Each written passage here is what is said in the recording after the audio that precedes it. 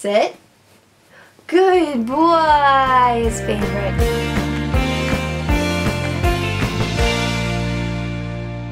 Hey guys, I'm Meghan Camarena, also known as Strawburry17 on YouTube, but this show isn't about me. It's about my precious little poopy Chewie. Sounds like I said poopy. My precious little poopy Chewie.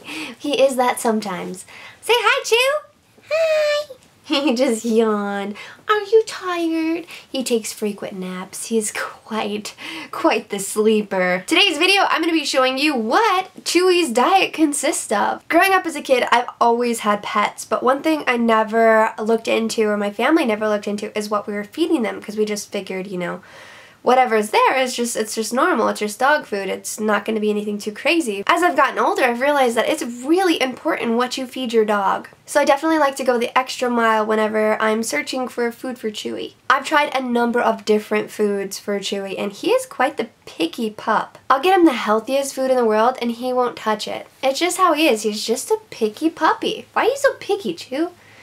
Oh, look, he's being cute. He's like, I love to nap. I like to nap. It's nap time for me, mother, please. But what's exciting is recently I found some amazing dog food. Whenever we cook salmon, uh, Chewie flips out. Like, we've accidentally dropped chicken on the floor, and he, like, will go up to it, sniff it, and just walk away from it. But when we cook salmon, he turns into a different dog. When we're eating our food, he's just waiting for us to give him some, which we don't because we do not encourage or reward begging but I know that's something he really likes. So when I was looking for new dog food, I found something that might be right up his alley.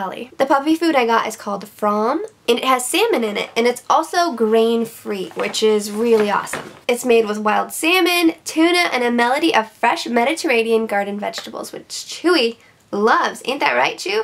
I put this food in his bowl and it's gone in minutes. He freaking loves it and destroys it. So this has been um, definitely a winner in Chewie's book. Ain't that right, Chewie? Chewie's like, it smells so good. Give me more. I love this can. So if you have a picky pooch like I do, maybe you should try that dog food. Maybe it'll work out for you. Also, I like that it's fish because it has a lot of uh, omega-3 in it and a lot of stuff that's going to make Chewie's coat look nice and beautiful because you know he's a movie star, so he always has to be looking fresh to death. Chewie's a very ADD dog, and he's always down to be learning new tricks. When he was a puppy, we were trying to find the perfect treat that would be good for rewarding him when he learned how to sit, or roll over, or play dead, or speak, and all those things, and I came across these. These are Zuke's Mini Naturals, and they're little peanut butter baby treats, and Chewie freaks out over these. He loves these. Watch, he's acting calm right now, because he's kind of sleepy, but these are his favorite. Chew, a treat? You want a treat? Ooh, he wants a treat. Sit. Good boy. His favorite. He loves these. Ooh, delicious. Delicious.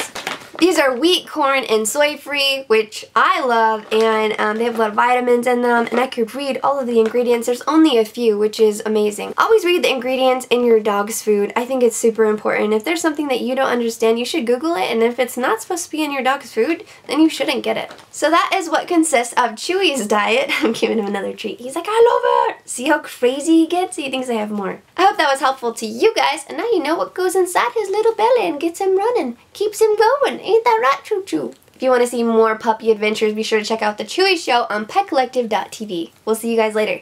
Bye! Hey, thanks for watching. For more adorableness like newborn kittens, baby gorillas, and puppies and bulls, check out thepetcollective.tv.